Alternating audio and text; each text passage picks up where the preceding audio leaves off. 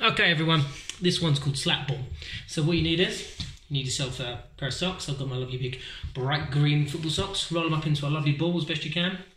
At the other end, I've got my lovely pink basket again. Tip on its side. Use a box. Use anything you can. And I've got my big pack of playing cards there as well. You can use counters, coins, anything you've got lying around. So I've got tipped on its sides. I've got my target. The sock ball comes at this end on the floor. I'm going to go into a plank position. Plank position is like this, up on my tippy toes. If I do this way around, you can see I'm in this position, okay? And all I'm going to do is I'm going to put the sock into line and give it a good slap and try and get it into the target. Let's give it a go. So I've got the sock in front of me here. I'm in my plank position. There's my target. And I'm going to give it a go. I missed that time, so I don't collect a card. I pick up the sock, I bring it back, and give it a go. Give yourself two minutes to see how many times you can get it in. Okay, let's give it a go this time.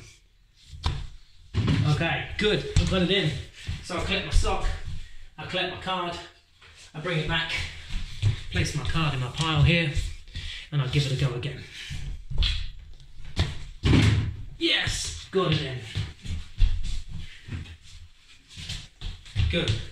At the end of the time, two minutes, if you're playing on your own, you can see how many cards you get.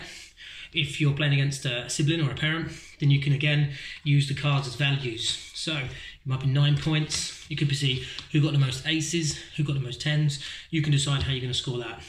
Give it a go. Let me know how you get on.